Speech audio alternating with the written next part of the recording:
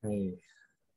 Tak uh, pekný deň všetkým, ktorí to pozerajú a možno aj večer alebo noc podľa toho, kedy ste si našli na náš čas. Sme tu dnes traja, uh, konkrétne Zuzka, uh, Alenka a ja. A budeme sa rozprávať túto hodinu o, o tom, ako, ako vlastne prakticky, ako, ako vyzerá teória vzťahovej väzby v praxi. Preto, lebo mne sa zdá, že veľa ľudí už o vzťahovej väzbe počulo, alebo ak nepočuli, tak minimálne čítali a ak náhodou ani nečítali, tak ako keby možno proste zakopli minimálne o, o teóriu vzťahovej väzby. A teória vzťahovej väzby má také zvláštne, sú to zvláštne tri slova, tie dve majú obsah a to, to jedno je, že teória. To má tiež obsah, ale keď si ľudia povedia, že teória, to tak to asi nejaká teória.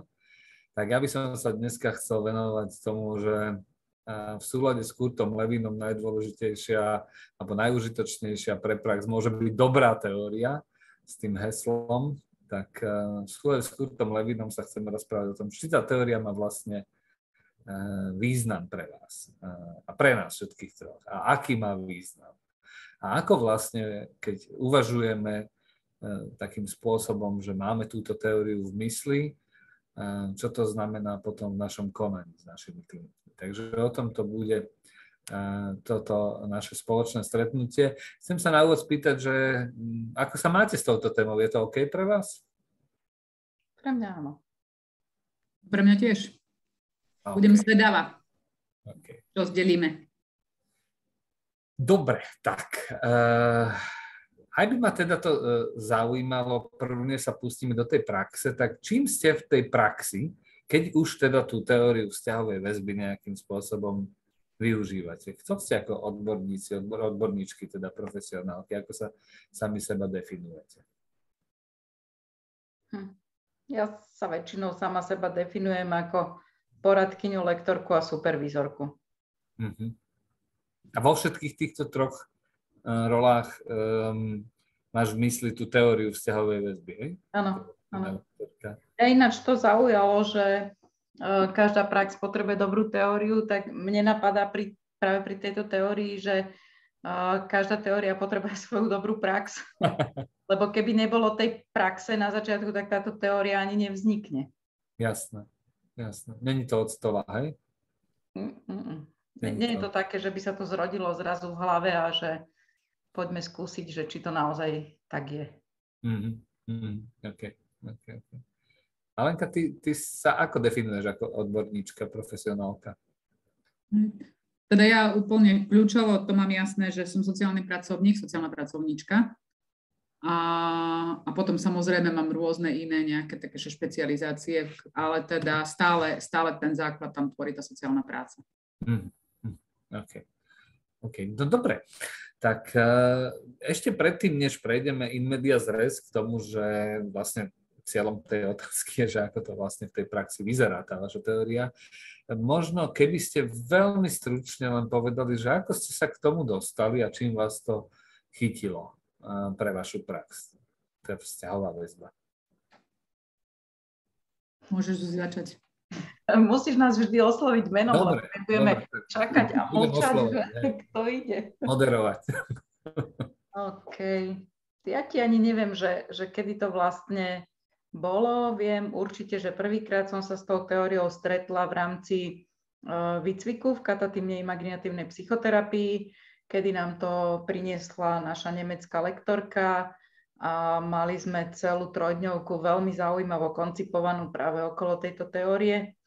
Čo ja viem, no tak mohlo to byť niekedy koncom 90. rokov, vtedy som chodila do toho výcviku. A už vtedy mi to tak brnklo o nos a začala som sa na mojich vtedajších klientov dívať cez túto perspektívu, čo boli väčšinou deti mm, s nejakými emocionálnymi uh, čo ja viem čím, problémami. Mm. Ťažko sa to, vieš, na, nazve, lebo väčšinou ich po, považovali za deti s poruchami správania a mne to tak celkom nejde cez ústa, Hej. táto definícia. Zo vzťaho, vidie, začalo som v tom vidieť ešte výraznejšie nejaké vzťahové problémy No a potom som veľmi rada sa znovu stretla s tou teóriou v návrate. Nie, nie. Tak čo, vyzvem ťa, Alenka? Ja v podstate naviažem, keďže Zuzka skončila slovom návrat, tak ja presne viem na to naviazať, že teda moja asi taká... Neviem, že či už možno predtým niekde niečo, je to možné, že niekde niečo sa objavovalo, ale takú tú, takú nejakú exaktnú už teda tú teóriu v takom tom širšom koncepte, tak teda mám samozrejme spojenú s návratom, ktorému sa niekoľko x rokov dozadu vlastne podarilo pozvať na slovensko-americké lektorky, ktoré vlastne priniesli túto teóriu a jej praktické využitie a praktickú aplikáciu pri práci s náhradnými rodinami, a teda s rodinami, ktoré prijali dieťa do svojej starostlivosti. A tak to bolo tak, taký, taký, že prvý moment a pre mňa asi najkľúčovejší, najvýznamnejší. Mhm. Ja sa k tomu pridám, ja sa k tomu nadviažem na teba, lebo keď oni do toho návratu išli, tak ste oslovili aj poradne. Ja som vtedy robil v detských poradniach, že, že či nechceme ísť na vzdelávanie. A keďže ja už som vtedy bol prevzdelávaný z 25 strán, tak som teda nešiel, ale nadviažem tým pádom aj na Zuzku, že ja som teda bol vo výcviku podobnom, ale nie rovnakom. Ty si hovorila o katatívno-imaginatívne, ja som bol u susedov koncentratívno-pohybovej terapii. No a teda ako, tiež to bolo vo výcviku. Ja som sa s tým stredol tiež v našom psychoterapeutickom výcviku. A dokonca, a to už bolo ku koncu toho, toho výcviku, v tej takej supervíznej a teoretickej časti sme mali, vlastne vtedy vyšla Jožový kniha o vzťahovej väzbe Haštovi, taká veľmi komplikovaná a necelkom vždy ľahko čitateľná, úprimne poviem, lebo tam dal všetko, čo vtedy vedel a, a načítal. A teda my sme to mali ako povinnú literatúru, okrem tých iných vecí, okrem tých prekladov, tak sme mali ako povinnú literatúru vtedy na výcvik túto Jožovú knihu. No a mali sme veľa aj takých supervízií s kolegyňami o tom, že aj z Nemecka, aj potom o tom, že ako sa to vlastne, vlastne prejavuje v, tom, v, tom, v tej žitej realite toho psychoterapeutického smeru, preto, lebo my sme hodne teda postavení na, na vývinovej psychológii a psychoanalyticky orientované vývinovej psychológii, takže tam toho bolo to bolo hodne. A teda, hej, bolo to také, že no dobre, no, že, že tak je to tak a, a čo teraz? Som to že dobre, tak áno, je to tak, že chápem, že máme teda vzťahy znútornené a, a buď sme v pohode a máme to tak bezpečne, alebo to máme ako keby v tých iných neistých formách, alebo v tej dezorganizovanej, ale že, že čo teraz? A vlastne častokrát, keď, e, keď, s ľuďmi, e, keď s ľuďmi e, sa o tomto trochu bavíme aj na tých supervíziách, tak prídeme k tomu náhľadu, že hej, že aha, že no dobre, no tak takto to je. A tiež prídu s tou otázkou, no a čo teraz? Čo teraz s tým? Tak keď by som, ako som povedal, že prejdeme in media res, ja som si tak rozmýšľal, že ako to vlastne otvoriť. Jednak som počul, že kým ste a čo robíte, a jednak rozmýšľam nad tým, že, že, že to sú také dva aspekty, že ako to využívate pri pozorovaní alebo posudzovaní toho klienta, s ktorým sa stretávate, či už je to dieťa, alebo je to matka, alebo je to diada, dieťa, matka, otec, ja neviem, triada. Že ako to využívate v takej tej pozorovaco-posudzovacej časti. Nepoviem rovno diagnostika, lebo tam tam je to k tej diagnostike sa môžeme tiež dostať, že či to vlastne používate pri diagnostike, či robíte diagnostiku vzťahovej väzby. To je taká e, jedna línia. A tá druhá línia je, že, že keď to viete, alebo keď to takto konceptualizujete v tej diagnostickej alebo posudzovacej časti e, vašej práce s klientmi, tak ako to potom vlastne vplýva na vaše na vašu prácu s nimi, čo presne špecificky, eh, aký to malo dopad, aký to má dopad na tú. O tomto sa chcem rozprávať. Dáva vám to zmysel, ako o tom rozmýšľam zatiaľ? Mm-hmm. Ja, A ideme cez tú diagnostickú uh, časť teda. Môžeme pokojne aj cez to. OK. okay. Lebo vieš, keď ty povieš, že pozorovanie a posudzovanie, tak vo mne sa vždy taká mierna vlna odporu zdvihne k, tomu, k tomu termínu, že posudzovanie klienta, lebo v tej slovenčine to má také divné konotácie.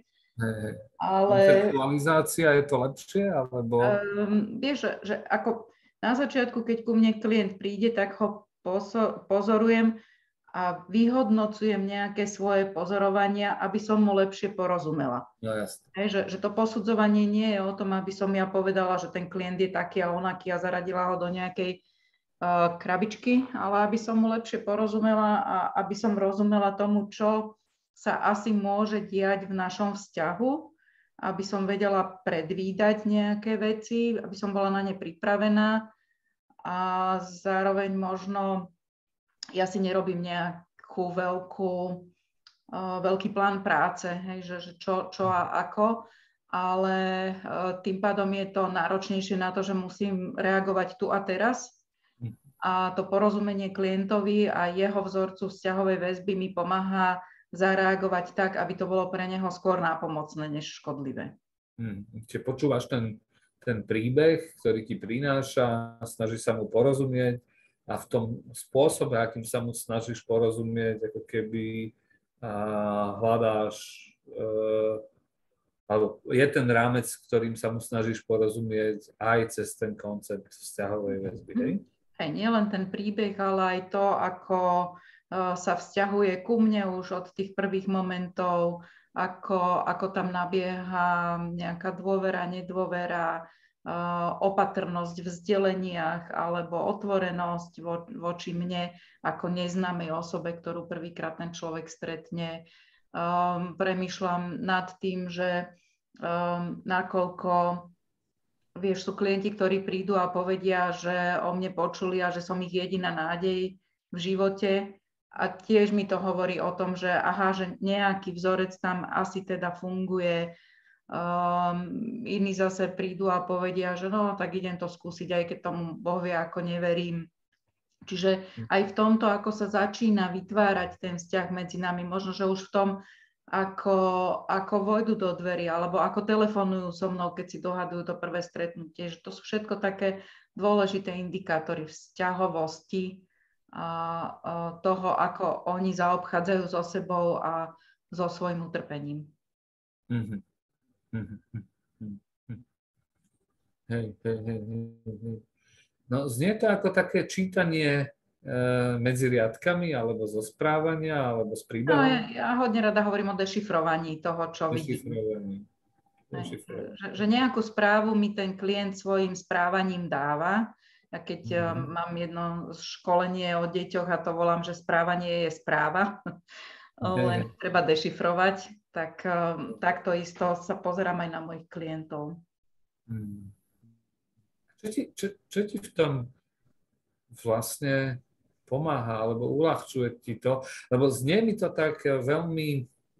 Hm, znie mi to tak, e, že naozaj potrebuješ vedieť, že čo máš hľadať alebo čo máš čítať, keď teda chceš e, tú správu dobre prečítať, dobre identifikovať takto nad tým rozmýšľam. Čo ti v tom pomáha to dobre čítať? No vedomosti, samozrejme, že, že niečo o tom viem, ako sa prejavujú jednotlivé tie vzorce. A myslím si, že mi veľmi pomáha môj, môj, moja schopnosť analyticky myslieť. Mm-hmm. Že dostať sa niekde nad ten vzorec, alebo hej, že ne, nebyť úplne vnorená v detailoch, ale vidieť veci tak z vrchu a komplexnejšie. To je tá konceptualizácia. Hej? Áno, no, to mi hodne pomáha. Hej, hej, v tej, v tej klasickej objektivistickej paradigme, ty keď konceptualizuješ prípad, tak potom na základe neho vlastne vytváraš terapeutický plán. To si mm. hovorila, že, že toto není úplne to, to čo čas, nerobíš to tak ako keby hej, hej, za A, za B, za C. Nie, úplne, áno, áno, áno. Hej, ale hej. samozrejme, že niekde v hlave uh, mám isté body alebo vodítka, ktoré ma, no. ktoré ma mi pomáhajú. To ma, to ma napadá, že nás to teda hodne aj potom na tých supervíziách vo výcviku psychoanalyticky orientovanom cepovali, že sa nás teda spýtali a sa nás pýtajú dookola často, aj tí kolegovia, aj sami seba sa teda pýtame, už sme takí zrelší, už nechodia len tí nemčúri, ale e, pýtali sa nás vždy, že, že akú vidíme štruktúru osobnosti, na základe čoho tak usudzujeme, aký vidíme intrapsychický konflikt, aké vidíme vývinové deficity, aké vidíme obranné mechanizmy, aké vidíme prenosové reakcie. A nielen prenosové reakcie, oni nás teda ako keby e, keď tak zoberiem, že ten grunt, že tá osobnosť sa vyvíja, ale tá báza je práve uh, tá konceptualizácia vzťahovosti v tej tom, tom zážitkov vzťahovosti a ukotvených v tej vzťahovej väzbe, že až mm-hmm. potom ide tá organizácia osobnosti, až potom tá štruktúra osobnosti, až potom tá symptopatológia, tak vždy, vždy to tam bolo, že, že teda ako ho vidíme z hľadiska toho, ako, ako ho konceptuálne z hľadiska tej teórie vzťahovej väzby. Mm-hmm. No dobre, uh, tak um, ideme uh, ďalej, alebo, alebo ako to máš ty, Alenka, keď sme v tej diagnostickej časti? No, ja teda nerobím, že diagnostiku vzťahovej väzby to určite nie. Uh, aj keď teda nejaké také, že ako keby, že orientačné niečo, to by som tak nazvala, že... Viete, a robí niekto tú diagnostiku vzťahovej väzby, keď sme už tak pri tom, že viete, niekto, kto je certifikovaný napríklad, čo ja viem, v tých, k deťom v tých detských veciach, tak ako to Ainsworthová mala, alebo je, je vyslovene napríklad v tom adult detachment interview vzdelaný a má na to ako licenciu. Viete niekom? Asi teraz aktuálne podľa mojich informácií na Slovensku taký nikto nie je, taký, že kto by naozaj mal licenciu vyslovene. Hej? Mhm. Dokonca práve skrz to, že teraz vlastne ako keby sa ten koncept vzťahovej väzby ešte nejako refreshnul e, cez e, teda Američanov, kde vlastne teraz sa rozdelili dve ďalšie školy, mhm. hej, ktoré ako keby že vznikajú a ten koncept nejakým spôsobom reaktualizujú, keď to takto nazvem. A tak dokonca sa ako keby bavia o tom, že diagnostika ako taká vo vzťahovej väzbe možno ani neexistuje. Mm-hmm. Hej, lebo no, tá vzťahová väzba je proste ako keby, že síce OK, dobre, e, to, čo sa deje v detstve a čo asi všetci o vzťahovej väzbe vedia v takej tej základine je, že áno, že naozaj tá vzťahová väzba alebo ten vzorec tej vzťahovej väzby, aký teda mám, sa vytvára práve skrze vlastne to detské obdobie, hej, že teda v tom, v tom vzťahu medzi matkou a dieťaťom alebo medzi tou vzťahovou osobou a teda tým dieťaťom. Mm-hmm. Hej, a vlastne dnes už zároveň ale tie nové ako keby poznatky ukazujú na to, že to uh, je oveľa hĺbší koncept, že to není takto len jednoducho, že niečo ma teda sformovalo a podľa toho, ako ma ten vzťah formoval s tou vzťahovou osobou blízkou, tak podľa toho ja už vlastne budem v tomto koncepte fungovať, ale že to je vlastne stále ako keby sa vyvíjajúca vec vo mne. Uh, na ktorú má vplyv e, prostredie, v ktorom žijem, ľudia, s ktorými sa stretávam, hej, a zároveň teda e, na to všetko majú okrem, okrem teda toho vzťahu, ktorý ma formoval, e, dopad aj teda tie zážitky napríklad, hej, že ktoré sa mi diali v tom živote. Hej, a to a moja schopnosť a moje proste nejaké predpoklady, tie zážitky spracovať mm. nejakým spôsobom. Hej. A čiže preto tá diagnostika je také, že strašne komplikovaná vec, a preto aj mnohí odborníci vlastne teraz ustupujú od slova diagnostika vo vzťahovej väzbe. Hej? Mhm. A skôr naozaj, napríklad pre mňa, ja zatiaľ som sa takže ukotvila v takom tom, že pre mňa do istej miery ten koncept vzťahovej väzby je také ako keby, že aké okuliare, ktorými sa dívam ako keby na svet. Hej, že, uh, že, že dívam sa na toho človeka, ktorý proste pri mne je, ktorý so mnou je cez teda jeho vzťahovosť. Mm-hmm. A cez ten, zároveň cez jeho vzťahovosť, cez moju vzťahovosť a cez to, čo vlastne v tej dynamike tých našich dvoch vzťahov potom vzniká. Mm-hmm. A to je napríklad to, čo ja vždy na začiatku s klientmi robím v rámci, a použijem slovo diagnostika, ale v rámci mojej sociálnej diagnostiky, ktorú teda vždy v každom konkrétnom prípade v nejakej miere urobím. Mm-hmm. A súčasťou tej mojej sociálnej diagnostiky je práve aj to ako keby prepátranie uh, ako to ten klient má, ako sa to tvorilo, že to má tak, ako to má, čo v tom je pre neho funkčné a zmysluplné a, a užitočné a čo naopak možno tam užitočné a zmysluplné nie je. Hej, tam patria napríklad tie rôzne vytvorené obranné mechanizmy a rôzne proste iné veci, ktoré, alebo teda rôzne narušenia, ktoré v tej vzťahovej väzbe bezpečnej vznikli. Hej, a ako sa ja voči tomu napríklad mám vzťahovať, tak, aby som v tom klientovi neposilňovala napríklad nebezpečie, ale práve naopak, aby som potencovala viac uh, to smerovanie ku bezpečnému nášmu spoločnému fungovaniu. Hej? Mm-hmm. A to je už napríklad potom ten koncept korektívnej skúsenosti a tých ďalších vecí, vlastne, ktoré ku vzťahovej väzbe patria. Mm-hmm. Jasne, jasne. OK. Čo vás napadá ešte, keď tak počúvate seba na, navzájom? Máte podobnú skúsenosť? Ja len pridám tú, tú, tú moju, že, e, že len chcem nadviazať, že keď sledujem literatúru zahraničnú o vzťahovej väzbe, e, špecificky napríklad o vzťahovej väzbe v dospelosti, čo mňa teda zaujíma, keďže robím ako párový poradca terapeut, tak e, ja tam ja tam vidím strašne veľa rôznych línií, akými uchopujú napríklad teoretici vzťahové väzby v dospelosti, mm. to, čo si ty hovorila, ako vzťahovosť.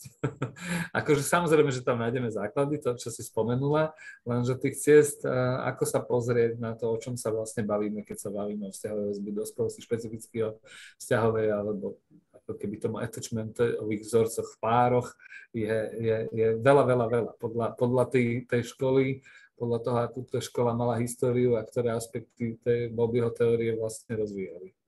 Takže je to také ako keby, že áno, môžeme sa do toho ponoriť a skúmať to, uh, skúmať to celý život. Tak. Um, keď to vrátim k tým vašim profesiám, Alenka, ty si hovorila, že, že v rámci so, sociálnej diagnostiky teda, alebo ja, ja napríklad nepoužívam moc pojem sociálna diagnostika, tiež som pôvodne sociálny pracovník, jednak preto, lebo to je ako keby ten medicínsky model, ale jednak preto, že, že pre mňa je to o posúd, posudzovaní v tom zmysle assessment, uh, posúdenie toho, tej sociálnej situácie uh, a toho, v čom sa vlastne ten, ten náš klient nachádza. Čiže hej, ale áno, používa sa na Slovensku ten, ten pojem sociálna diagnostika pri, ja ho používam pre zjednodušenie v princípe, hej, že nie pre vyjadrenie presne toho, čo tam robím, ale pre zjednodušenie v rámci procesu. Mm. Aby to bolo vlastne také, že vyjadrené, že áno, že v tejto fáze je to, lebo však tam patrí strašne veľa vecí do, do, do tejto fázy, hej, mm. tak ja to pre zjednodušenie a pre takúto zrozumiteľnosť používam. Ja som ináč nadšený, že to hovoríš, pretože je málo, eh, alebo neviem o veľa sociálnych pracovníkoch alebo pracovníčkach, ktoré ako keby v rámci mm, posúdenia toho, čo sa deje. E, či už pracujú s rodinami a posudzujú dynamiku v rodinných systémoch, alebo pracujú s deťmi a posudzujú mieru bezpečia dieťaťa e, v rodine, alebo, alebo tisíc iných e, možností, čo môžu posudzovať sociálni pracovníci podľa toho, v akých kontextoch vlastne pracujú tak veľmi málo ľudí, ktorí mi hovorí o tom, že posudzujú, posudzujú cez tie okuliare vzťahovej väzby ty to mhm. máš integrálnou súčasťou, ako integrálnu súčasť dá sa tvojej, uh, tvojej tej, tej, tej časti tej diagnostickej pri práci s tvojimi klientmi. Asi to súvisí aj s tým, že ja takže v významnej miere vzťahová som. Mm-hmm. To je jeden moment a taký podľa mňa významný, hej, že, že preto, aby si používal koncept vzťahovej väzby, tak je asi dôležité teda, že byť vzťahový, teda každý človek pri tom vzťahu je, hej? Ale, sme, ale sme v rôznych mierach vzťahoví a v, rôz, v rôznych tých ako keby úrovniach tomu dávame nejakú významnosť a neviem čo všetko. Ale teda mne to, čo ešte je také, že podstatné v tej vzťahovosti, a to bolo takéto pekné, ako hovorila, hej, že poruchy správania a správanie a to všetko, hej, že tento pojem je pre mňa taký, že dobre, že ja síce keď proste e, som s klientom, tak pozerám na ňo, teda, že ako sa správa, ako funguje, ale teda čo, to, čo mňa zaujíma, je potom viac to prežívanie. Hej. A to patrí do tej vzťahovosti. Hej, Hej. Že čo on prežíva a čo prežíva v tej chvíli so mnou a čo ja prežívam s ním. Hej. Hej. A to je pre mňa také, také významné a dôležité a preto sa aj pripájam k tomu, tomu Zuzkinu, že teda, že mňa poruchy správania až tak nebavia.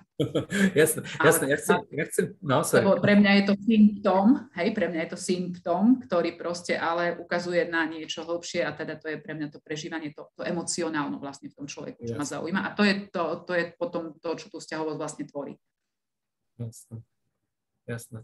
Ja, ja som len chcel dodať, že, že my sa teraz bavíme napríklad cez teba o, o sociálnej práci, ale napadlo ma, e, že keď, e, keď e, sa pozrieme na učiteľov a oni tiež vlastne robia istý typ diagnostiky, pedagógovia, A napadla ma taká veta, ktorú som niekde si v tej našej prezentácii, ktorú sme kedysi robili, um, vlastne spomenul, že, že, že nemusíme sa rovno ako pedagógovia, keď robíme pedagogiku klasickú s deťmi, pozerať na to, že e, kde má dieťa problém, ale na to, čo sa mu stalo. A že je to o spôsobe mhm. rozmýšľania o dieťati alebo o klientovi.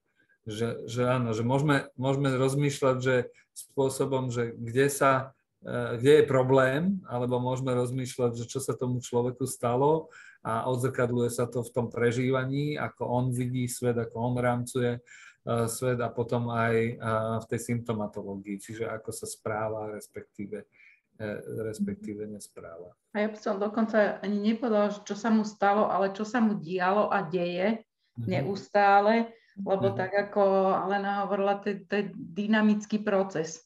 Mm. Lebo keď povieme, že čo sa mu stalo, tak ľudia väčšinou hľadajú nejakú jednorazovú udalosť. Jasné. Hej, že, že ak, ak, e, možno, že aj v tom sa to potom niekedy s tou posttraumatickou stresovou poruchou zvykne pliesť. Áno. E, že to nemusí byť naozaj, a väčšinou to ani nie je jednorazový, ani to nemôže byť jednorazový zážitok, lebo to je naozaj vyví, vyvíjajúca sa vec, ten vzorec. Hej, hej.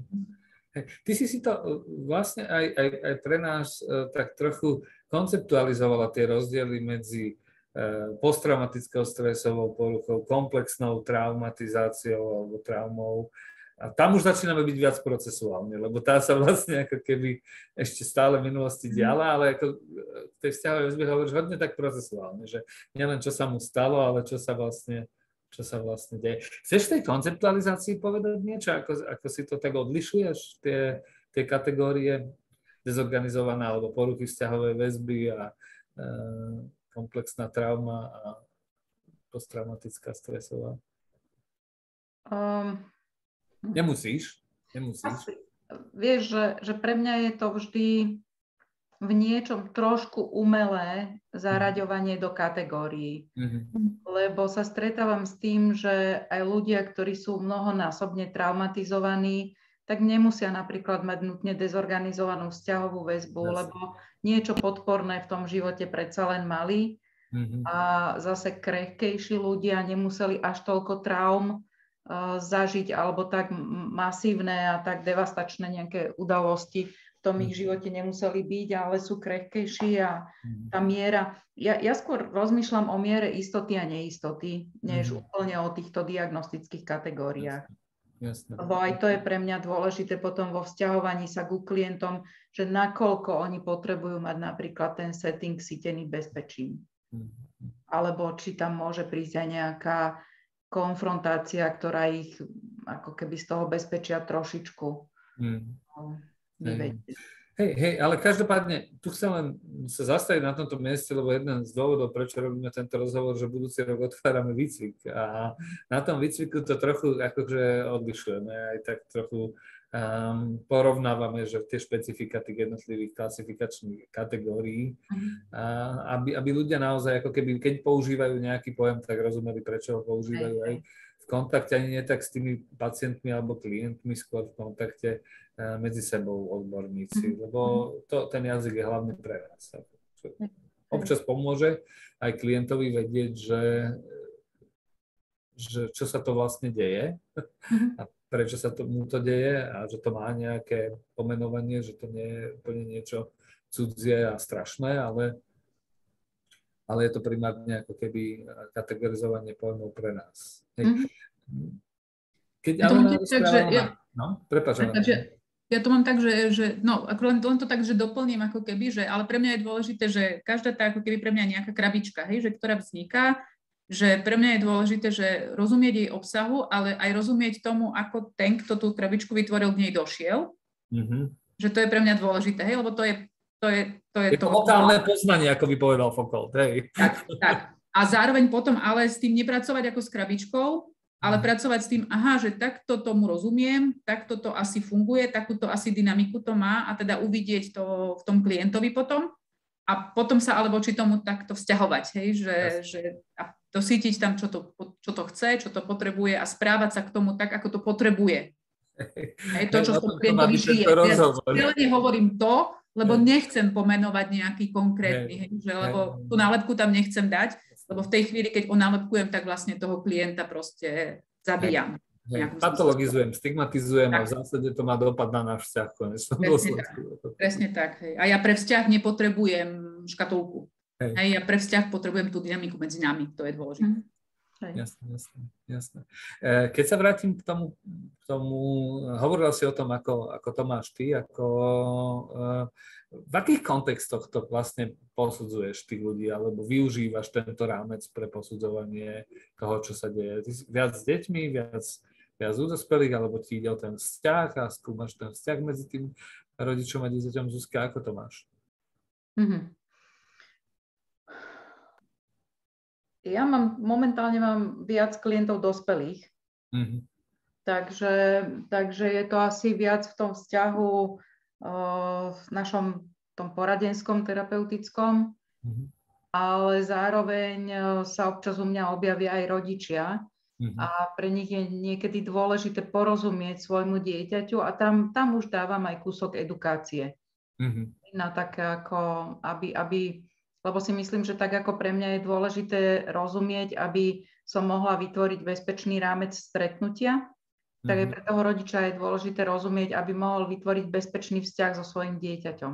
Mm. A to isté platí aj pre ja neviem, vychovávateľov, učiteľov, čiže tam, tam používam túto teóriu aj na takú edukáciu, aby porozumeli tomu, prečo je bezpečný vzťah dôležitý a ako sa vytvára.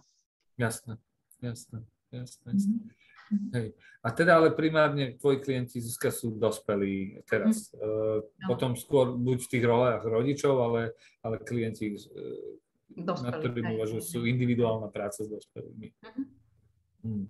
Ja chcem len, uh, ja chcem len tak ako, že veľmi pekne sú tie frame of reference, tie referenčné rámce, tie, to, ako vidím seba vo vzťahoch, druhého vo vzťahoch a náš vzťah, že je to veľmi, z mojej perspektívy je to veľmi pekné vidieť v tej interakcii v párovej terapii, lebo tam ani moc netreba ako keby eh, odhadovať, eh, tam sa to žije tým, že oni sú vlastne na tom sedení a, a ono to vlastne vidno, tie, tie v prejavoch správania a potom, keď skúmam ten dopad eh, toho, čo sa udeje medzi nimi, na nich samotných. Takže tá konceptualizácia prípadu v istom zmysle aj cez tie rámce e, vzťahové väzby e, u jednotlivca je potom jednoduchšia, lebo ich vlastne žije v tých, e, v tých vzťahoch so mnou. Isté, to sa vždy dá, lebo, ale v tých intimných vzťahoch je to oveľa rýchlejšie, lebo tam je to ako keby na placi.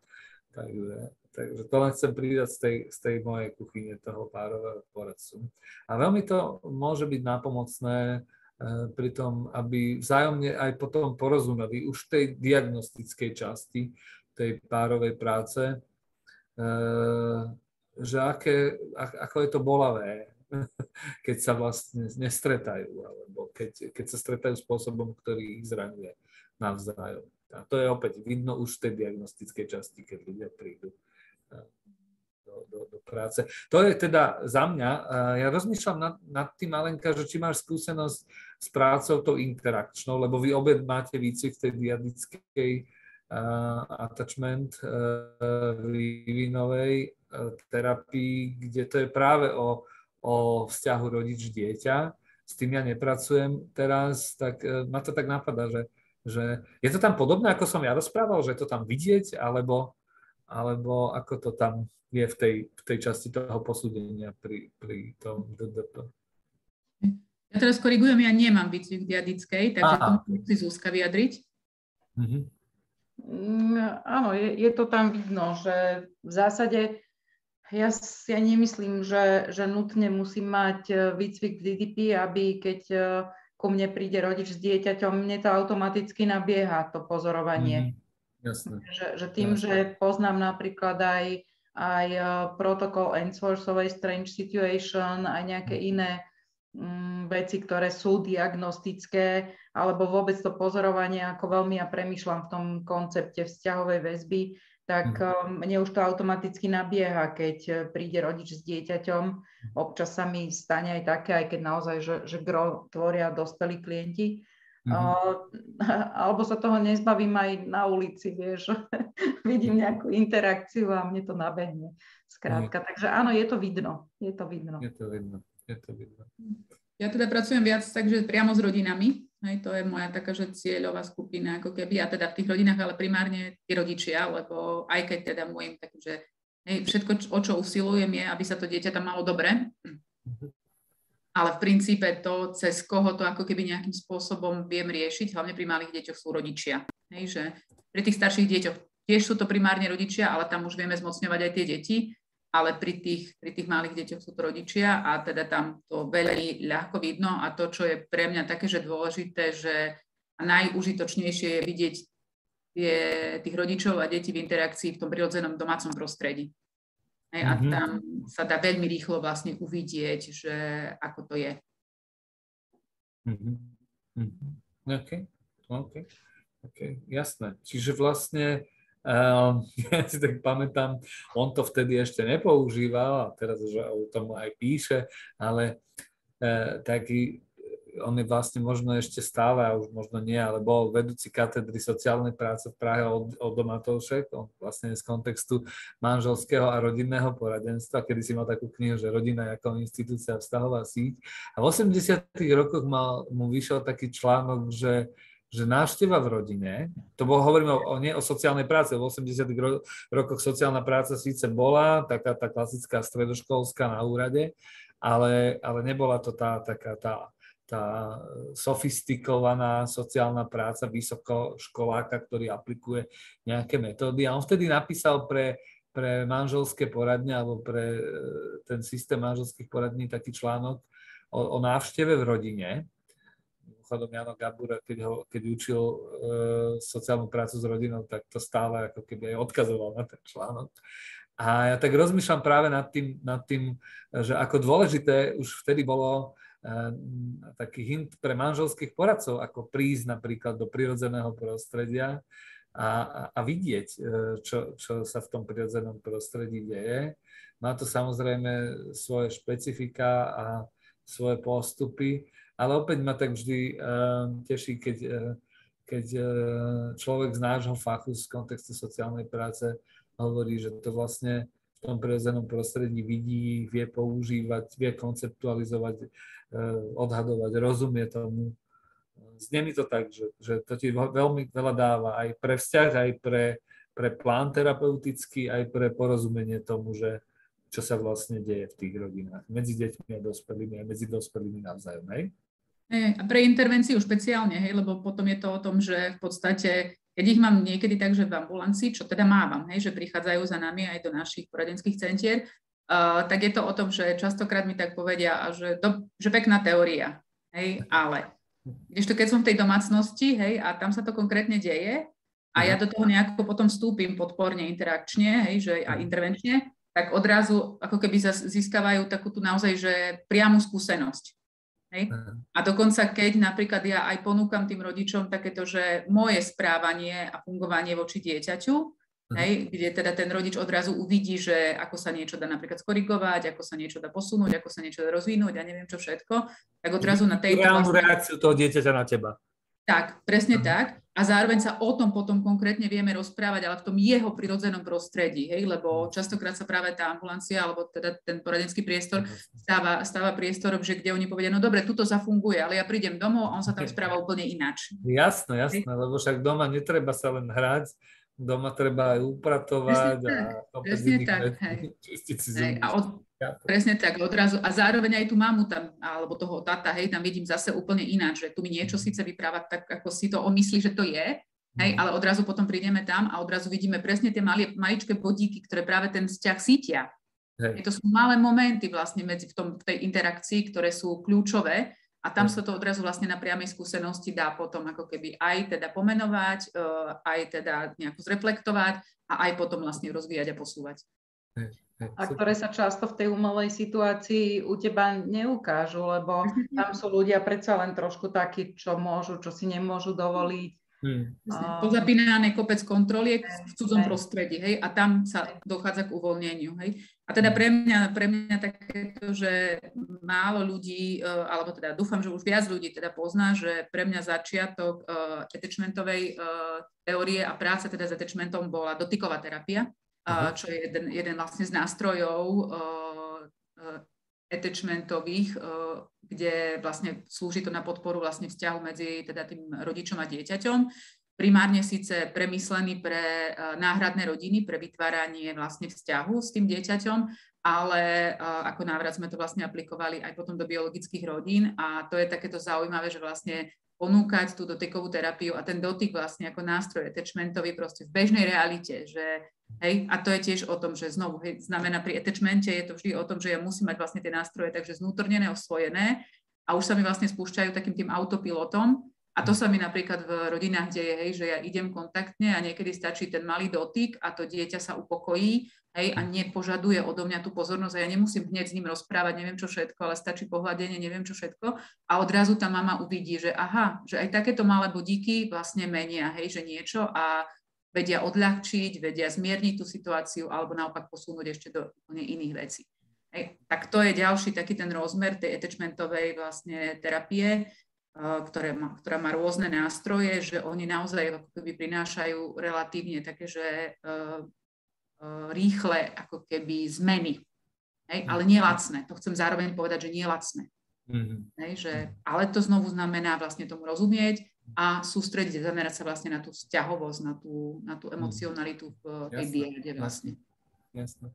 Teraz mám taký silný obrázok Eh, rôznych videí. Um, pravdepodobne ešte nevedela um, nič moc o vzťahovej väzbe vtedy, ale Virginia Satyrovej, ktorá učila napríklad ľudí, ako sa môžu dotýkať mm-hmm. spôsobom, ktorý je bezpečný a zároveň uh, ako keby citlivý, alebo ako konzultovala s rodinou a zároveň uh, ako keby keď sa rozprávala, bola v kontakte s niekým, tak uh, práve tým dotykom mohla byť v kontakte s tým druhým členom tej rodiny. Vyžaduje si to ale teda veľkú, veľkú aj odvahu od toho pomáhajúceho a takú istotu v tom, eh, čo je únosné, aby, aby to práve ako keby ten vzťah neničilo. Tá niekedy prílišná blízkosť, ktorá takto môže byť vyjadrená, alebo, alebo vstup do nejakej zóny, alebo, alebo Presne tak. Mne sa napríklad z diadickej práve páči, teda okrem ďalších atribútov, tá rešpektuplnosť, Hej, to mm. je kľúčové, hej, že naozaj a vzájomná rešpektuplnosť, že ja musím postražiť aj svoje možnosti a hranice, zároveň vlastne teda ako keby dať pozor na tie možnosti toho klienta. A, ale mne sa tam ešte viac ako keby, a to ma na attachmentovej terapii a teórii najviac baví, je tá hravosť. O tej málo, málo hovoríme. Mindfulness málo... je jeden z najdôležitejších vecí. Hej, hej. Tak, a má, málo sa o nej vie napríklad, hej, že kopec ľudí pozná attachmentovú teóriu, ale keď poviem, že hravosť pri tom, tak ich tak zastavím, že čo, ale to je práve to užitočné, že, že tá hravosť je pre mňa strašne fascinujúca a o to viac, že tam ako keby zrovna keď už navodí človek tú atmosféru vlastne tej hravosti, tak vtedy som to ja.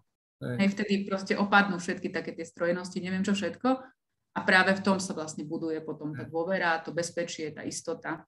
Hej? A, a to je na, na tej teórii tiež pekné. Zuzka, skočil som ti do reči? Nie, neskočil. Mňa to tak oslovuje, že ja nie som úplne ten hravý typ, ale zase mám, mám rada iný druh eh, hravosti a to je taká spoločná kreativita. Hej, že, že mňa strašne mhm. bavia také stretnutia s klientami, kedy oni povedia, že poďme toto skúsiť. Hej, mm-hmm. že, že, že vyťahnem si kocky, alebo hej, je to istým spôsobom hravosť.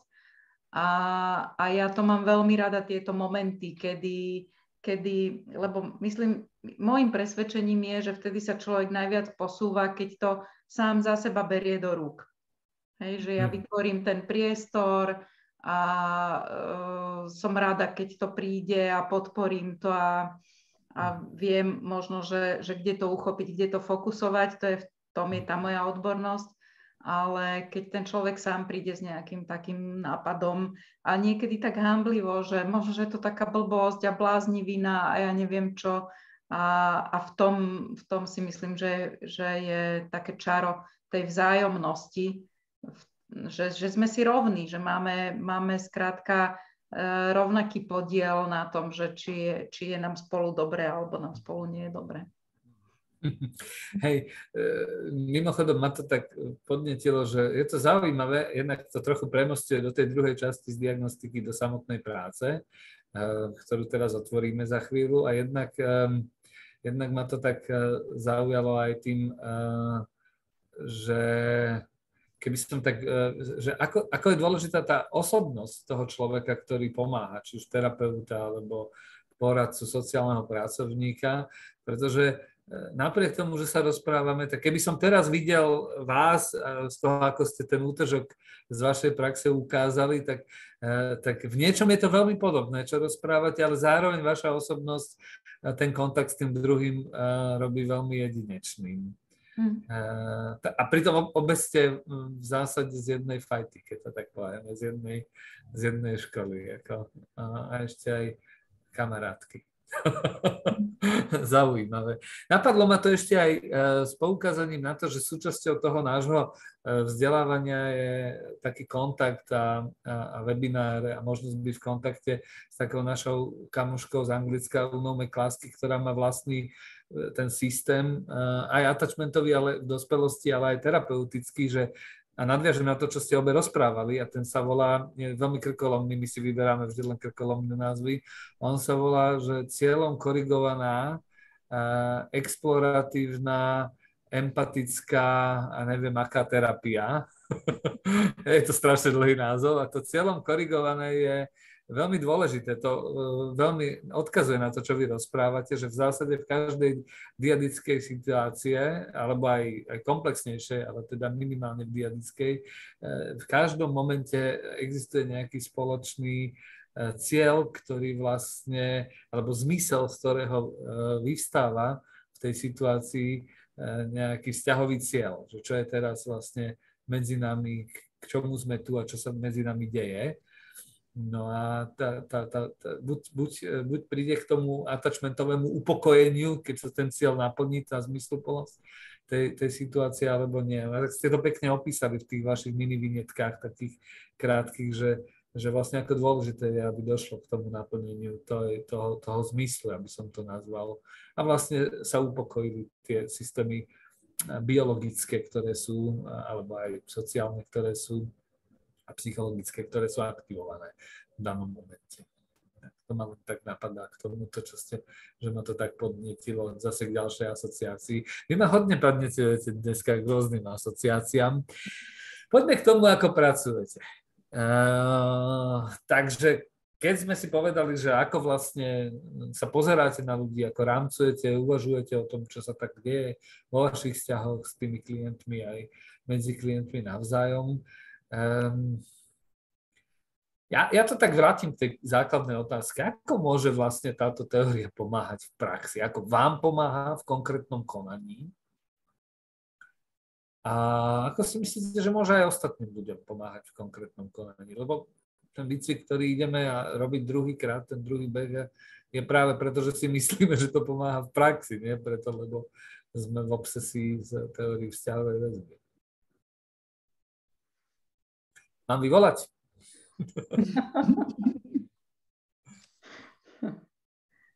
Neviem, vieš, že ja mám pocit, že ja už to mám tak pod kožou, že sa mi to niekedy aj ťažko tak preparuje. Mm-hmm. Ale myslím si, že ten základný princíp, ktorý ja som si vzala z tej teórie pre asi pre celé žitie, že to asi nie je len pre prácu, ale pre celé žitie, že, že človek sa môže rozvíjať len vtedy, keď eh, má základný pocit bezpečia v danej situácii. Mm-hmm. Že ak ho neprežíva, tak eh, to na cieľ zamerané správanie je o tom, že, že to, čo ho v tej chvíli zaujíma, je, ako, ako si znovu navodiť nejaký pocit bezpečia. Mm-hmm. A, a to je princíp, ktorého sa vlastne držím aj v práci, a už tie iné veci, ktorým rozumiem, že ako sa vytvára pocit bezpečia vo vzťahu poradenskom, terapeutickom, akomkoľvek, eh, že, že v zásade, ja neviem, ja to poviem tak veľmi zjednodušene, možno v terapeutickom je to také asi uchopiteľnejšie, keď niekto chodí do, do terapeutického výcviku, tak tam sa hodne o tom hovorí, o tej vzťahovosti. ale niekedy, niekedy je to možno nie celkom akcentované v tých poradenských vzťahoch, že mhm. keď ku mne príde niekto po radu, že sa ma mhm. pýta na niečo, tak dosť často sú to zúskostnení rodičia, ktorí mhm. buď nevedia, čo sa deje, alebo majú kopu výčitiek z toho, čo urobili zlé a teraz sa im to rúca, alebo majú strach z toho, ako ich obvinuje okolie.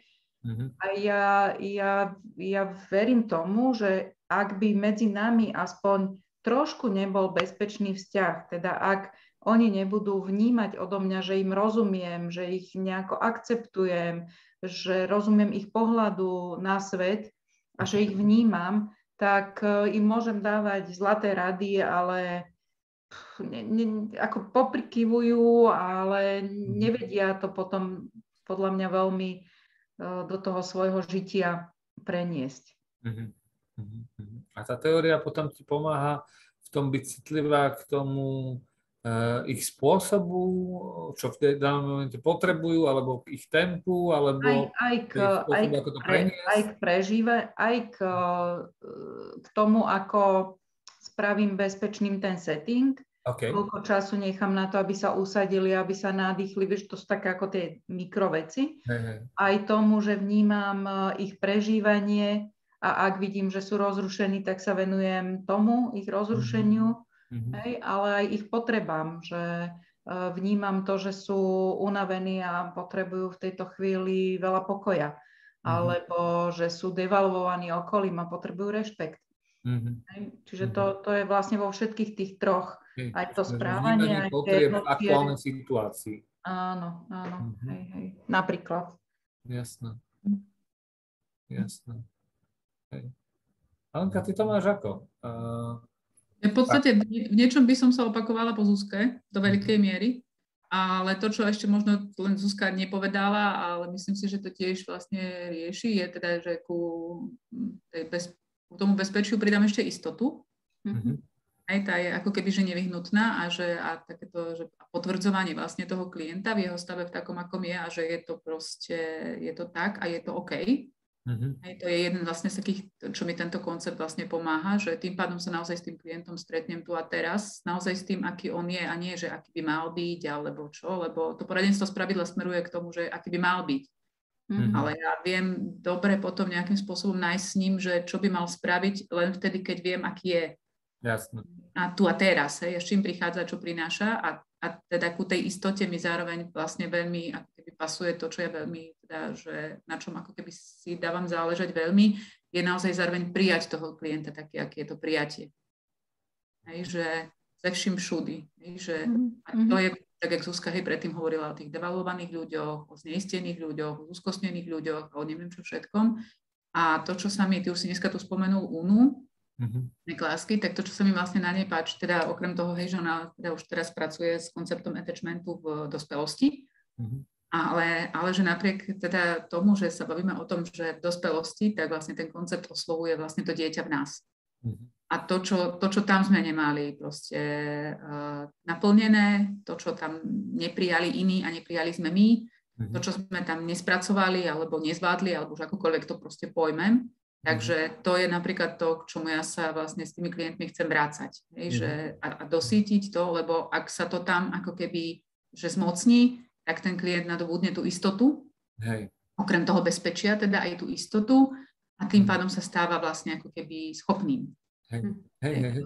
hej, hej Návrat k tomu detstvu je pre mňa dôležitý a to je napríklad to, čo s klientmi robím. To je jedna veľká súčasť mojej práce, čo síce mnohých klientov tak ako keby rozruší na začiatku, že prečo ja sa idem teraz vrácať do nejakého ich detstva, do neviem čoho všetkého možného, keď oni sú tu a teraz a potrebujú zvládnuť nejakú náročnú situáciu doma s dieťaťom, ktoré im proste neviem čo, mm, demoluje dom ale napriek tomu práve na to, aby bol on zmocnený a zvládol tú situáciu, tak to dieťa možno práve naplavuje to jeho dieťa v ňom, hej, ktoré zažívalo niečo možno a ak to zažívalo že v pozitívnom, tak on tam má tú silu, tie zdroje a ak v negatívnom, tak je tam nejakým spôsobom ako keby, že oslabený a to treba posilniť.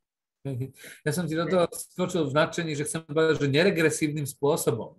Že naozaj, keď sme si to zažili, tak to je veľmi dôležité práve pre ten poradenský alebo kontext sociálnej práce alebo psychológie, ktorá nemá uh, tri dní uh, v týždni setting, čiže aj dynamickej psychoterapie, len, len nie takej, takej že intenzívnej, ako psychoanalytickej, že sa to deje neregresívnym spôsobom a napriek tomu sa pracuje s, s tou detskou skúsenosťou tu a teraz vlastne, ktorá je žitá aktuálne. Že, Presne tak a ponúka sa vlastne korektívna skúsenosť hej, a to je to vlastne významné, hej, že, že ten človek vlastne získava tú korekciu, tú korektívnu skúsenosť, ktorá keď, keď sa potom posilní, tak vlastne ten človek sa zmocní. Jasné, jasné, jasné, jasné, jasné. Eh, čiže ja by som len ešte jednu vec chcel, keď si hovorila o istote, tak ma napadlo ten, ten koncept, ktorý je tiež dôležitý pre, pre vzťahovú väzbu a pre prax potom vzťahovej väzby eh, a to je stálosť. Hej, že, eh, že vlastne to bezpečie je hodne spojené s vytváraním niečoho, čo, čo je stále, čo, čo tam je, čo tam je pre toho druhého človeka najmä keď teda naozaj e, nezažil, nezažil to, tú, tú, tú stálosť, nielen to bezpečie, ale aj tú stálosť v, v tej biografii spôsobom, mhm. ktorý e, vlastne potom mohol posilniť vývin takej identity, a, ktorá je, hej, obezpečí potom nás. No. Mhm. Tak napadlo. Takže aj hravosť, aj stálosť, všetko tam počúvajte v tej vzťahovej väzbe. Tak a pri stálosti ešte, ale že jedna veľmi dôležitá vec je, že je to také zároveň záväzok. Hej. Hej, že, lebo už keď vlastne vstupuje človek do tej korektívnej skúsenosti a do týchto vecí, tak vlastne je to naozaj záväzok e, mm. nejakej aj dlhodobejšej veci, mm. ale zároveň ja to nemám ako, že takéto zviazanie. Hej, lebo dospelý človek, a teda sprievarne, ak napríklad pracujem s dospelými, tak ja som človek, ktorý ich dokáže vystaviť vážnym frustráciám, hej, lebo ja som sociálny pracovník, nie nevyhnutne terapeut, aj keď používam terapeutické prvky vo svojej práci sociálnej. A je to presne o tom, že ja som zároveň krízový pracovník, čiže mne sa naozaj častokrát stane, že ten človek potom možno potrebuje, ako keby ma tu mať tej stálosti. Hej? A nie vždy som dostupná a, a spôsobujem ľuďom frustrácie. Aj to je jedna časť mojej práce. Keďže som sociálny pracovník a z mojej aj práce to vlastne vyplýva, ale tá stálosť je zároveň v takej tej, ako keby, že takej jasnosti. Mm. Hej, že zároveň, že, že ten človek vlastne zároveň, že ak budem nejako reagovať, takže je tá moja reakcia predvídateľná, mm. to je jedna vec. A druhá vec je, že zároveň je taká tá stála, hej, že na podobnú situáciu reagujem podobným spôsobom. A tým Jasne. ten človek získava to bezpečie a tú istotu. Hej, že nechcem to povedať, že len v tom kontexte stálosti, že som tu pre neho kedykoľvek, dlhodobo, neviem čo, ale v tejto stálosti, v tej konzistentnosti toho môjho správania, tej mojej reakcie, a toho môjho vlastne vzťahovania sa na, voči tomu klientovi. Jasné, jasné. A ja, ja tam dodávam spolahlivosť k tomu, mm-hmm. že strašne dôležité je mať nejaký kontrakt jasne urobený a byť spolahlivý v rámcoch toho kontraktu. Hej, že, mm-hmm. že, že naozaj, aby bolo jasné, čo kedy odo mňa môže očakávať ten môj klient. Mhm. Čiže jasnosť, uh, konzistentnosť a aj mhm. spolahlivosť okrem tej hravosti a bezpečia. A stability. Áno, hej. Čiže, čiže vlastne um, toto sa potom rozvíja v, tom, uh, v tej samotnej práci, tieto, tieto mm. aspekty, ktoré sme teraz spomenuli, v tých samotných interakciách s klientmi alebo uh, s, tými, s tými pármi alebo s rodinami, s ktorými pracujeme. Mm. Tak, ale nesmieme zabudnúť ešte na jeden moment, a teda tých veľa ešte, ktorých nesmieme zabudnúť, hej, ale jedno také, že vlastne ako keby, že čo je v tom dôležité, že ja musím poznať samého seba. Mm-hmm. A vedieť vlastne, čo do toho vzťahu ponúkam a možno aj aký typ väzby napríklad ponúkam, hej, že ak je to u mňa napríklad do bezpečnej, takže čo to zároveň znamená pre toho klienta, ale ja kľudne ako odborník nemusím byť, mať bezpečnú. Hej, ja môžem mať kľudne niektorú z nich tých väzieb. Ale takisto si toho musím byť vedomý a musím vedieť vlastne, čo to môže s tým iným klientom robiť a, a teda to ošetriť. Mm-hmm. Hej, čiže to je pre mňa jedna z ve- a to si myslím, že to asi pri každom no, koncepte práce je, ale tu to považujem za nevyhnutnosť, že vlastne pracovať na seba poznaní permanentne, na objavovaní tých vlastne vlastných skúseností, ktoré ma môžu limitovať hej, a aj na vlastnej korekcii v dnešnom dôsledku. Hej, hej, hej, hej. No, minule sme mali webinár e, s inou britskou kolegyňou o supervízii a priniesla taký veľmi dôležitý koncept Donalda Shona, že reflexia v akcii alebo o akcii a po akcii. A, a to, je, e, to je veľmi dôležité, súvisí to s tým, čo ty rozprávaš, lebo to seba poznanie není zase prázdna floskula. to je o tom, že vlastne e, ja som v interakcii s druhým aj v tejto chvíli to uh, rozumenie tomu, že prečo prežívam v tejto chvíli to, čo prežívam, má zmysel.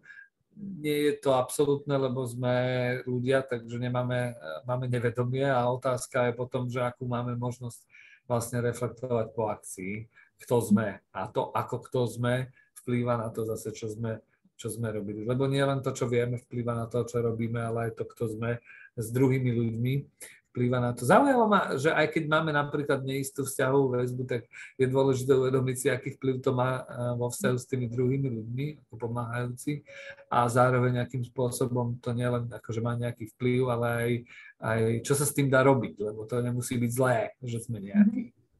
Presne tak, ja si myslím, že nás to nemusí vôbec limitovať. Hej, nás to nemusí zlimitovať, ale je dôležité to vedieť a potom to, čo je napríklad negujúce, tak kom, uh, kompenzovať.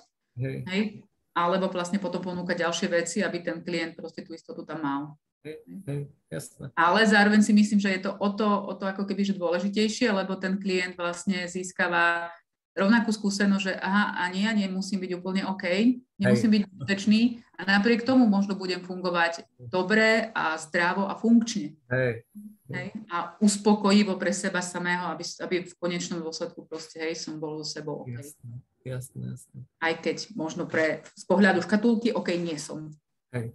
Čo, čo odkrýva celý uh, obrovský svet uh, tej intersubjektivity a vzájomnosti vo vzťahu a zároveň odkrýva uh, ten koncept, Patrick Caseman, taký analytik, má taký koncept, že wounded healer, že zranený, mhm. zranený pomáhajúci a, a že vlastne on tam je žitý. Uh, aj to naše zranenie je vlastne žité. A e, nielen e, pacient alebo klient má príležitosť k uzdrave, ale aj my máme príležitosť e, uzdravovať sa. Jasné, jasné. Hej, a to mi príde, že ešte jeden obrovský princíp k tým všetkým, čo sme vymenovali, to je autenticita. Hmm. Hej. Hej. Zdá sa, že veľa princípov chceme učiť na tom uh, našom, aj učíme v zásade na tých našich nielen e, dlhodobých, ale aj krátkodobých e, vzdelávaniach. A teda aj vo vašej praxi prinášate, lebo vy učíte vo vašich kontextoch e, z ľudí napríklad cez návrat. Jasné. Jasne. No dobre, znie to, znie to tak, že, že by som do takého výcviku išiel, teda úprimne, ale vrátim sa ešte k tej, keď som povedal, že ABC, ja som taký kockatý, tak hovorili sme o diagnostike ja by som ešte doplnil tú tému terapeutického plánu, že ja ako potrebujem tej veľa tej istoty, takže preto ABC kocka a eh, v, tom, eh, v tej práci s terapeutickom pláne sa mi zdá veľmi dôležité ako keby si uvedomiť, že tá teória mi pomáha dobre plánovať to, čo budeme spolu robiť. Alebo ponúkať potom aj v tom kontrakte to, to čo môže byť vhodné pre toho pre toho pacienta, pre toho klienta. Hovorím to preto, lebo nadvezujem aj na to, čo už bolo povedané a aj preto, že, e, že nie so všetkými sa dá všetko. Čiže e, tá, tá citlivosť k tej vzťahovosti klienta a k tým potrebám môjho klienta e, mi pomáha vlastne spolu s ním vytvárať to, čo je možné a zároveň ako keby neostať len v tom, čo je možné, ale ísť aj o kúsok, že ale len o kúsok ďalej, aby som ho nedekompenzoval, eh, mhm. nepreťažoval nejakým spôsobom, eh, napríklad pri, pri deťoch, taký klasický príklad s deťmi, eh, keď som robil v poradni, tak pri deťoch, ktorí mali tú vzťahovosť takú odmietavú. Hej. Tak, tak e, ja som sa učil tie terapeutické zručnosti a, a, a odhadoval som ten, ten emocionálne, čo on prežíva, tak e, som tak poodhadoval, že sú asi zahambení teraz, alebo teraz sú naozaj ako keby vystrašení a, a, a cítia vinu a teraz ja to tak ponúknem, akože to bol ten, ale moc empatický som nebol, bola to len e, konštrukcia, ktorá pravdepodobne sedela, ale bola kompletne preťažujúca. Čiže tá, tá, tá, tá, tá, tento, vzťah, tento pohľad cez tú vzťahovosť vlastne kultivuje uh, moje empatické porozumenie, hlavne nielen porozumenie, ale aj potom uh, v, tej, v tom dialogu vyjadrené, čo môže byť únosné pre toho druhého človeka, čo, čo nie, čo mi otvára ten koncept mentalizácie, ktorý je dôležitý pri, pri práci vo vzťahovej väzbe. Je ešte niečo, čo by ste chceli k tej, k tej buď, buď k terapeutickému plánu, alebo poradenskému, alebo k tým intervenciám konkrétnym, ktoré sa vám osvedčujú pri práci, keď využívate túto teóriu? Ja mám pocit, že sme to tak, aspoň za mňa, že hmm. sme pomenovali. Hej, tie, tie pojmy od stálosti, tých sedem pojmov a hej. Ako to máte s tou mentalizáciou? To je zase taký ten my, my sa tomu venujeme, e, snažíme sa priniesť ľuďom poznanie toho, čo to mentalizácia je. Mne sa to zdá ako veľmi užitočný nástroj práve preto, lebo to trochu, Jožo Haš toto volá komplexná empatia a mne to je celkom jedna komplexná preto, lebo to je o diade, eh, v ktorej sme, že, že vlastne je to mentalizácia nielen toho druhého, nielen odhadovania, ako sa ten druhý má, ale aj toho, ako sa mám ja a dokonca toho, ako ja spolu utváram v tej intersubjektivite ten zážitok, eh, ktorý ten druhý má a že sa o tomto dokonca môžeme rozprávať. A tu sa vraciame už rovno v tej diagnostike, že vlastne v tej, dia, v tej diade sa to deje, aj tej diade medzi poradcom a klientom.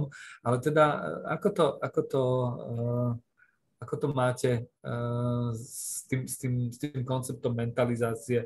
Ty si tuším aj bola v tom Londýne, Zuzka. No, ja som bola v Londýne medzi dverami, tak povediať.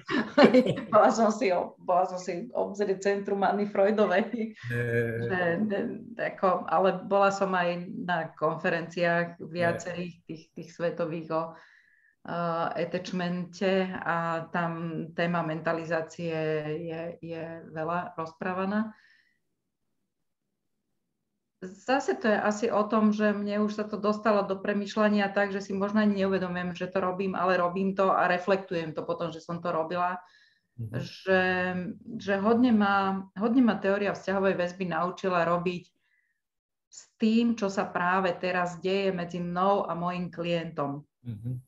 Hej, že, že naozaj ne, ne, nemusíme nutne prinášať nejaké udalosti z jeho života, že čo on zažil s niekým iným a teraz to rozoberieme a snažíme sa e, rozprávať o tom, že čo asi ten druhý prežíva alebo čo by chcel urobiť, keď vy toto, ale niečo sa deje medzi nami a ja vtedy pomenujem, čo vo mne ide, k čomu ma to pozýva, k akému konaniu, odhadujeme, čo ide v tom klientovi, že, že vlastne v rámci toho nášho vzťahu a v rámci toho, čo sa medzi nami deje, to použijeme. Hmm. Hmm. Je, je, že používaš ten vzťah ako také laboratórium toho, čo sa vlastne deje a no, e, áno, rozprávate sa o tom, čo je tu medzi. Hej, hej. Hm. Je dôležité. Ja No, ja to v tomto tiež mám tak podobne, ale ja sa ešte vrátim trošku od mentalizácie, trošku ešte k tomu tvojmu, že terapeutický plán. Mm-hmm. Uh, tak ja to ne, teda nenazvem, že terapeutický plán, ja to mám ako intervenčný plán, hej, ja. keďže som povedala, že teda využívam iba terapeutické prvky, tým pádom nemám terapeutický plán. Mm-hmm. Ale zároveň teda v rámci toho intervenčného plánu je pre mňa takéto dôležité práve to krokovanie. Hej, a že ja ako keby nevždy mám úplne, že, že na zreteli až taký, že finálny cieľ. Mm-hmm. Ale pre mňa napríklad práve ten koncept attachmentu ponúka to, že pracovať na tých malých čiastkových parciálnych cieľoch, hej, mm-hmm. ktoré postupne vlastne potom ako keby menia kvalitu života toho človeka. Mm-hmm. Hej, a to je napríklad pre mňa zaujímavé v tejto, v tomto koncepte. A zároveň takisto, že uh, a špeciálne som vlastne, uh, že upriamila pozornosť na to, že intervenčný plán, lebo keďže teda aj toto je možno nejaká pozvánka, toto video na ten výcvik, mm. tak je to pre mňa presne o tom, že bola by som rada, ak by do toho výcviku prišli nie iba psychológovia, mm-hmm. ale vlastne pomáhajúci profesionáli z rôznych profesí, ktorí mm-hmm. teda vo svojej práci by chceli, alebo už možno používajú vlastne práve ten vzťah a tú mm-hmm. dynamiku toho vzťahu uh, pre teda uh, ako keby posun toho klienta a v konečnom dôsledku seba samého. Tak to je hey. takéto, že, že hey. bola som rada, bola zmeska ľudí, ktorí vlastne budú prinášať rôzne pohľady a takto vzájomne môžeme byť pre seba užitoční v hľadaní to a, a takom usadzaní tej attachmentovej teórie v nás a konceptu. To, tá, tá, to môže veľmi, e, mimochodom, byť veľmi užitočné pre rôzne profesie. Už sme tu spomenuli pedagógov napríklad, pre, mm-hmm. ja neviem, 3 hodinou. A, a hej, hej, určite v kontexte rôznych profesí, ktoré chcú pracovať vzťahovým spôsobom to môže mať mm. zmysel. Nech už si slovo terapeutický plán nahradia ako keby akýmkoľvek uvažovaním o tom, uh, ako budeme spolu vytvárať um, postupne kroky, ktoré budú slúžiť uh, a tá naša spolupráca bude slúžiť klientom v tom, čo oni chcú. To je veľmi no, dôležité pre to, v tomto je pre mňa, tá, možno keď si sa pýtal, že koncept vzťahovej väzby, že pre mňa je tak použiteľný eh, v rôznych typoch vzťahov, ktoré môžu byť terapeutické, aj keď nie sú psychoterapeutické. Jasne. Hej, že terapeutický vzťah sociálneho pracovníka, rodičovský terapeutický mhm. vzťah, mm-hmm. učiteľský terapeutický vzťah, lebo hovoríme o ľuďoch, ktorí sú nejakým spôsobom vzťahovo zranení. Mm-hmm a potrebujú zažívať vzťahy, ktoré sú naopak uzdravujúce, liečivé, teda terapeutické. Mhm. Nakoniec v tom prvom behu sme tiež mali e, z rôznych profesí, mali sme aj mhm. právnika, e, čo by možno niekomu prišlo, že prečo, a mhm. mediátorov. To všetko sú, sú profesie pomáhajúce, ktorým sa môže tento koncept zísť. Jasné. Jasné, jasné. Tak tu vlastne prichádzate aj k, k takej tej téme, ku ktorej som sa chcel dostať. Um, a to je, že prečo by ľudia vôbec mohli na ten náš výcvik ísť, čo by, čo by, ňou, čo by ním získali. Určite im pošleme všetkým, ktorí majú chuť viac potom aj napísaného o tom. Ale ešte ma tak uh, napadá, že áno, že, že, že ten terapeutický aspekt ja by som tu jednu vec zdôraznil, že, že vy obe ste sa pohybovali v, koncept, kon, v kontexte náhradného rodičovstva, neskôr profesionálneho rodičovstva, alebo aj tomu rôznych fóriem náhradného rodičovstva. A e, to je tiež veľmi dôležité, že, že tá vzťahová väzba nemusí byť viazaná len na psychoterapiu a že e, je, môže byť e, používaná táto teória naozaj v rôznych rôznych aspektov aj, aj pri, pri príprave eh, ľudí, ktorí, ktorí chcú si osvojiť dieťa alebo, alebo budú, budú profesionálnymi rodičmi. Môže byť veľmi nápomocná práve pre tých ľudí, ktorí sa budú stretávať s ľuďmi, ktorí nemali jednoduchý život, keď to poviem takto, napríklad s deťmi, ktorí nemali jednoduchý život. Tak, uh... to vlastne môže slúžiť pre všetkých, vieš, lebo mne sa napríklad páči tá kniha, ktorú ty budeš vedieť názov, ja ju neviem, ja ho mhm. neviem, ale že, ale že teda je to kniha o tom, ako tie vzťahy fungujú na pracovisku.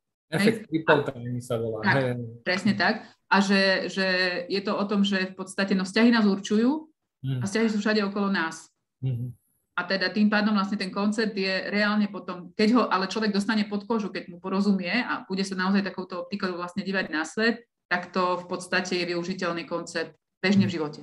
Mm. Aj v akýchkoľvek vzťahoch, ktorých vlastne, do ktorých vstupujem, či sú to teda vzťahy už také tie prirodzené, rodinné, alebo sú to vzťahy proste žité, hej, že v rôznych prostrediach. Ja. Tak aj takýto rozmer dokonca vlastne tá, tento koncept uh, môže mať. No, e, marketingové okienko začnem asi tým, že keď hovoríš teraz, tak ma to napadá, že také dve poznámky, že ten výcvik okrem seba skúsenostnej časti, ktorá, ktorú má, a sú tam e, vyslovene tri dvojdňové stretnutia venované len seba skúsenosti v malej, ale aj väčších skupinách, tak e, pracuje s tým, že pomáhame ľuďom trochu aj nahliad na to, kto sú oni ako profesionáli a práve akým spôsobom oni môžu potom Eh, vlastne tú teóriu vzťahovej väzby využívať vo svojej roli. Či už sú to kouči, mediátori, psychológovia poradenskí, eh, psychológovia, ktorí pracujú v klinickom rámci, psychoterapeuti, alebo napríklad aj čo liečebáci, pedagógovia, alebo aj sociálni pracovníci, čiže rôzne ako keby pomáhajúce profesie. Aj napríklad firmní konzultanti si viem predstaviť, že by mohli byť veľmi obohatení, keď sa budú pozerať na to, že čo sa vlastne na tých pracoviskách alebo v tých tímoch, ktoré sprevádzajú, deje. Lekárov nikdy nespomíname. Nespomíname lekárov, lebo mal som minulé kolegu a ak ho pozerať, tak pozdravujem práve kolegov lekárov. Z času na sa zabúdia do coaching za lekári a, a, a, a vždy to bude príjemné stretnutie. Hej. Hmm. Hej. To je veľmi A nie len psychiatrov, myslím... No jasné, áno, áno, áno. Jasné, a pre pediatra je to podľa mňa hodne kľúčové poznať tieto veci. Takže, e, takže tá práca s tou rolou a s tým, ako vlastne e, môžeme túto teóriu aplikovať v našej, v našej roli, to je dosť dôležitá súčasť toho nášho, e, toho nášho vzdelávania. Ale napadlo ma to ešte z, takých, z takého jedného dôvodu, že že, že to, to vzdelávanie vlastne pomáha ľuďom na rôznych úrovniach. Pri vlastnej sebaregulácii, to je to, čo sme rozprávali, že, že pomáhame ľuďom vlastne nahľadať na to, čo sa v nás deje, čo sa v nich deje a čo sa deje v tom priestore medzi nami, čiže čo sa deje v nás, čo sa deje v tom druhom človeku. Pomáhame ľuďom nájsť jazyk, a to je tá mentalizácia. Ako sa o tom môžeme rozprávať, ako sa môžeme dopytovať, ako môžeme reflektovať, ako môžeme ponúkať tie, tie komunikačné zručnosti, ktoré otvárajú tie, e, tú, tú, tú vzťahovosť. A teda nie len práca vo vzťahu, ale aj práca so vzťahom, s našim vzťahom je témou, našim myslím klient a ja, je, je témou tých našich, tých našich vzdelávacích stretnutí. Čiže nielen práca v prenose, ale aj na prenose, keby som to klasicky psychoanalyticky pomenoval. No a pomáhame podľa mňa ako naozaj učíme ľudí, ako sa rozprávať a potom akým spôsobom nielen sa rozprávať, ale akým spôsobom, e, keď si zoberieme, ja neviem, polyvagálnu teóriu alebo ten neurosekvenčný model, ktorý sa nezaoberá len tými ako keby e, časťami, ktoré sú verbálne, ale ako pracovať vlastne vytvárať tie všetky stálosť, bezpečie e, na tej, na tej takej fyziologickej úrovni. Čiže určite máme aj časti, ktoré sa venujú práce v, tom, v tom, v tej, z tej neverbality, alebo v tom, v tom telovom, v tej telesnej skúsenosti a s tou telovou, s telesnou skúsenosťou. Takže toto určite chceme priniesť tým ľuďom, lebo tá vzťahová väzba není len o tom, ako mentalizovať, ale najprv ľudia budú, musia byť schopní a dostupní aj my, aj ten druhý. Čiže, čiže tu som chcel povedať práve o tých, o tých vývinovo starších častích, jak mozgu sa bavíme tiež a čo s tým sa dá robiť a, a tak, lebo to tiež sa veľa ľudí rozpráva, že no dobre, tak už sme mimo okna tolerancie. ale dobre, tak sme mimo okna tolerancie, ale čo s tým, hej? A to je práve tá práca s tou telesnosťou a, a s tým spomalovaním a, a tak ďalej. Takže toto je tiež súčasťou toho, ako my rozmýšľame, ale aj, aj pracujeme. Prečo ešte na ten výcvik ísť z vášho pohľadu? A čo vám dal? Lebo však eh, ste tam boli tiež. No, mne ponúkal práve tú reflexiu, tak ako Zuzka povedala, že keď už to ako keby človek má v sebe a žije to, tak potom niekedy práve, že nemám tie slova na to, to dať von. Hej, lebo už to tak No, povedzte mi o šoferovaní, keď šoferujete 50 rokov, že ako to robíte, čo tam robíte, hej, tak to už sú veci, ktoré proste jednoducho, jednoducho šoferujem. Hej. Hej, a, ale práve tento výcvik bol pre mňa o tom, že si to tak zvedomovať znovu a možno znovu preukladať aj v niečom, sama za seba. Hej, že a to znovu, si bola lektorka. A to som bola lektorka, znovu v sebe niečo ako keby usadiť zároveň sa inšpirovať od, e, a nie len vás ako lektorov, ale od účastníkov sa inšpirovať mm. hej, a hľadať v tom. A to je takéto, že prečo to absolvovať, že naozaj, že tam bolo tak veľa inšpirácií, tak veľa mm. podnetov, hej, že na mm. vlastný rozvoj, e, že, že to stalo za to. Mm, jasné, jasné. Ja chcem len povedať, že máme hostí a vlastne v tej druhej tretine toho vzdelávania, vlastne na, na každom tom stretnutí vždy máme hostia, a vždy hostia, ktorý je iný ako my traja. Mali sme Natáliu Káščakovú z takej tej klinickej psychiatrickej komunity, mali sme, mali sme Láca Timuláka, mali sme Dadu Husovskú, kto ešte prišiel? Ivan ako náš automaticky starý, sta, sta, starý, starý, starší, alebo ako to povedať? Ako to povedať? Senior. Senior sa hovorí v angličtine. Hej, senior lektor. Aby som na niekoho nezabudol, koho sme ešte mali? Dobre. Oh. Unu sme mali v rámci... A, Unu sme mali, áno, hej, hej, Takže áno, takže toto, toto všetko nás čaká a hlavne sme tam, hej, mali účastníkov, ktorí sa by sa učili navzájom od seba, nebolo to len od nás, od našich hostí. Takže, takže veľa, veľa dobrého. No dobre, takže začíname budúci rok, neviem, či vo februári alebo kedy, určite všetkým dáme vedieť. Um, takže ak ste, ak ste pomáhajúca profesia a chcete pracovať s hostiami, a nielen ako pároví terapeuti, ale s akýmikoľvek, ale so vzťahovosťou ľudskou, tak, tak eh, šup k nám. A ja si myslím, že zo párkrát sa objavia na tých našich vzdelávaniach učitelia, hmm. ktorí to učia.